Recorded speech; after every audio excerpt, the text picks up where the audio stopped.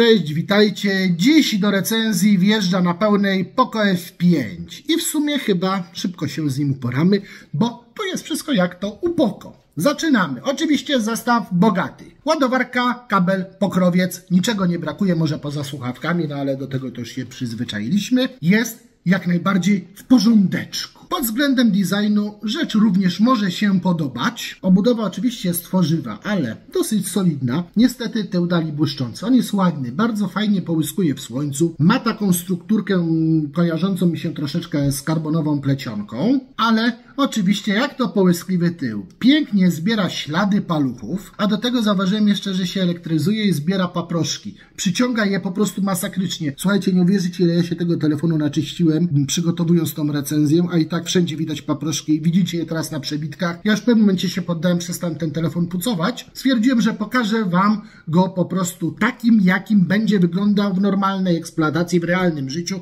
w waszym życiu, jeżeli go wybierzecie, uznałem, że lepiej będzie, jak zobaczycie, jak ten telefon faktycznie w realnym świecie wygląda, a nie będziecie go oglądać na wysmakowanych zdjęciach. Po takie odsyłam do konkurencji, o mnie widzicie prawdę, tak jak ten telefon wygląda na żywo. Jeżeli chodzi o jego codzienną praktyczność, no jest całkiem spoko, bo tak, ten tył wbrew pozorom wcale tak szybko się nie rysuje. Szybciej porysuje się rameczka, kiedy telefon upadnie, ale z drugiej strony jak upadnie, to raczej ten tył wam nie begnie, no bo plastik fantastik, a rameczka no cóż, jest plastikowa i czasem może się uszkodzić. No mi się akurat ta sztuka udała, aczkolwiek telefon rzeczywiście poleciał z bardzo dużej wysokości i co najważniejsze przetrwał. A skoro już y, tak tutaj wyznaję, y, co z tym telefonem złego robiłem, to również udało mi się go utopić. Miał jakiś straszny niefart, może dlatego, że jest bardzo śliski, a ja go używałem bez pokrowca. Także uważajcie, jak sobie go kupicie, albo noście go w tym silikonie, który jest dodawany do zestawu, albo pilnujcie go jako oka w głowie, bo jak go położycie na przykład na stole, to on wam z niego zjedzie, nawet kiedy stół będzie wydawał się, że jest zupełnie płaski. Wystarczy minimalne pochylenie i ten telefon już się suwa. Robi się taka pod nim poduszka powietrzna. Widocznie kwestia użytego tworzywa, może ukształtowania obudowy. W każdym razie jest tutaj taka niewysoka, można powiedzieć, podstawowa ochrona przed wilgocią na wszelki wypadek, konkretnie IP53, a jak się okazuje, to wystarcza. Telefon przetrwał kąpiel i działa do tej chwili, także moim zdaniem jest nieźle. No i oczywiście można by było powybrzydzać, że Poco mogło użyć lepszych materiałów. No owszem, mogło, ale telefon byłby po pierwsze cięższy, po drugie wrażliwy na stłuczenia, a po trzecie i co najważniejsze droższy. No to po co? Myślę, że lepiej, że Poco przyoszczędziło trochę na obudowie, a dało kilka innych feature'ów, które są w telefonie potrzebniejsze i przydatniejsze. No bo na przykład dali całkiem zgrabny AMOLEDowy ekran z szeroką 10-bitową paletą kolorów z odświeżeniem 120 Hz, nawet w miarę wąską ramką i Gorilla Glass 5 na wierzchu. Do tego jeszcze oczywiście mamy fabrycznie naklejoną folię ochronną, może niezbyt trwałą i troszeczkę pogarszającą czytelność e, obrazu w pełnym słońcu, ale jednak jest fabrycznie już e, dla nas założona. Mamy telefon na dzień dobry chroniony. Dla formalności tylko dodam, że ekran ma rozdzielczość Full HD i przekodną 6,67 cala. Spisuje się całkiem dobrze. To nie jest najlepszy wyświetlacz, z jakim ostatnio miałem do czynienia. Słoneczne dni daje radę szału wielkiego nie zrobił na mnie, ale wiecie, cóż, porównując go ze znacznie droższymi telefonami, wypada naprawdę dobrze. To jest po prostu dobry ekran dla telefonu w tej cenie i tu się naprawdę specjalnie czepiać nie zamierzam.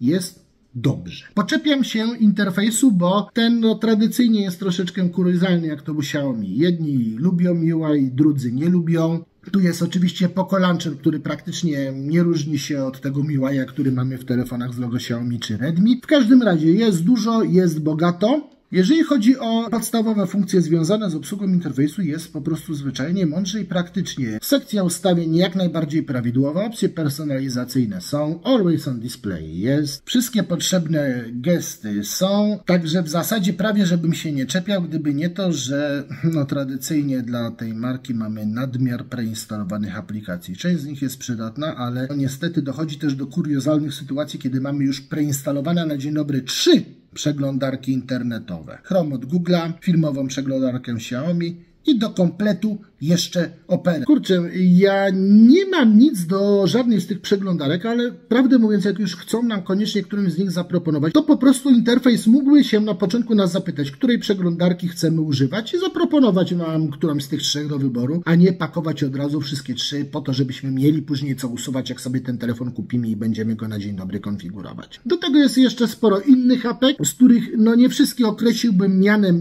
przydatnych, bo wiadomo, nie każdy używa TikToka, LinkedIna czy Bookinga. Ja rozumiem, że na czymś trzeba zarobić, no ale kurczę, no powiem po prostu, że mnie to irytuje niezmiennie i, i koniec. Po prostu mi się to nie podoba i koniec. Podoba mi się za to wydajność tego smartfona, bo jak to upokona jest po prostu dobra, by nie powiedzieć bardzo dobra. Mamy Snapdragona 7 z plusem, to już wiadomo, że będzie dobrze. No i rzeczywiście jest dobrze. Zatem jeżeli szukacie czegoś niedrogiego, co pozwala się solidnie poupalać grami, no to Poco będzie spoko. To y, zdecydowanie jest telefon, na którym można pograć i cieszyć się z tego grania, bo wszystko tu jest na miejscu. Jest i dobry ekran, i dobra wydajność. No i powinienem od razu tutaj płynnie przejść. Są głośniki stereo. Są głośniki stereo grające całkiem fajnie. I skoro już o tym wspominam, no to pod względem funkcji komunikacyjnych praktycznie nie ma większych zastrzeżeń do tego telefonu. Poza dwoma, które mam wrażenie, że dosyć często przewijają się w produkcjach Xiaomi Redmi Poco. Pierwszą rzeczą, która mnie irytuje jest to, że trochę za dużo dźwięku wydostaje się na zewnątrz w trakcie rozmowy i po prostu wszyscy wokół słyszą, co ktoś do nas mówi, chyba że przyciszymy, ale wtedy no znowu tą osobę, która do nas mówi, gorzej słyszymy. I następną rzeczą, która mi osobiście przeszkadza, jest nerwowe działanie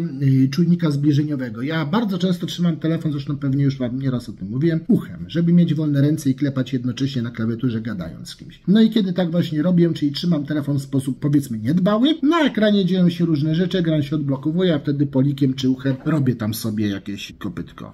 Pamiętacie reklamy z Mumio? No. W każdym razie takie dwa drobiażdżki, które troszeczkę y, psuły mi przyjemność korzystania z tego telefonu, ale generalnie poza nimi do strony komunikacyjnej i dźwiękowej zastrzeżeń nie mam, a jeszcze zwrócę uwagę na pewien szczegół, który mamy tu na górze. Moi drodzy, jest mini jack i to też jest w pewien sposób y, charakterystyczne dla Poco i za to też można tego producenta lubić i cenić. Z rzeczy fajnych, ten telefon, jak wiele innych modeli Xiaomi, ma uniwersalnego pilota podczerwieni pozwalającego sterować różnymi domowymi urządzeniami w połączeniu z preinstalowaną, wbudowaną aplikacją bardzo uniwersalną i dosyć prostą w obsłudze. Czy Poco F5 da się polubić za baterię? No cóż, moi drodzy, chyba nie będziecie zaskoczeni, jak powiem Wam, że jest tu standardowo. Standardowo, czyli bateria o pojemności 5000 mAh.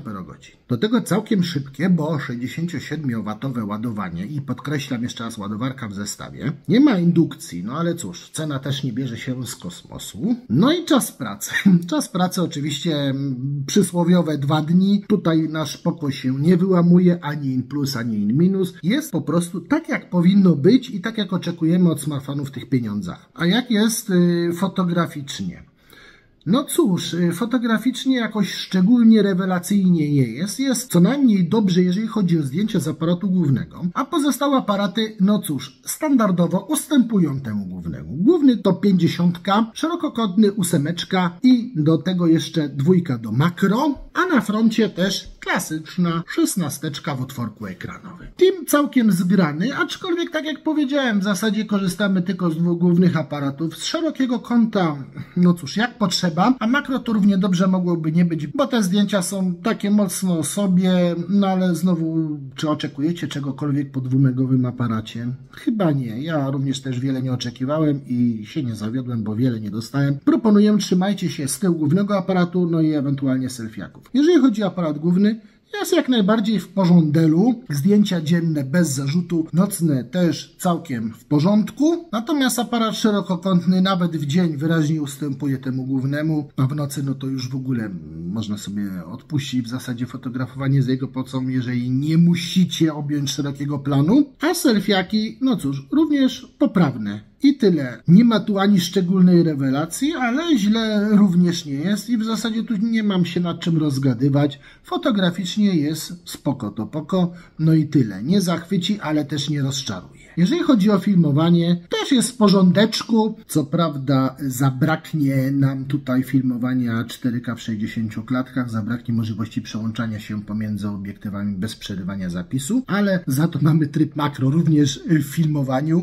No cóż, i e, w tym miejscu przeszedłbym płynnie do jeszcze dwóch słów na temat interfejsu. Interfejs fotograficzny jest jak najbardziej poprawny, czysty, przejrzysty, tylko tradycyjnie schrzaniono jedną rzecz. Dlaczego tryb makro nie jest pośród pozostałych trybów fotografowania, tylko jest schowany w górnym hamburgerowym menu. Niezmiennie mnie to irytuje, bo muszę tego szukać i nie znajduję tego tam, gdzie spodziewałbym się to znaleźć. Za Poco F5 trzeba obecnie zapłacić 2400, bez złotówki oczywiście. Czy warto? No generalnie nie będzie to zakup chybiony. Ten telefon nie ma poważnych mankamentów, ma kilka niedociągnięć, kilka drobiazgów mnie nie do końca porwało, nie do końca oczarowało, ale cały kształt jest całkiem strawny i w zasadzie każdy, kto kupi ten telefon, wiedząc o tych kilku niedociągnięciach, będzie zeń zadowolony.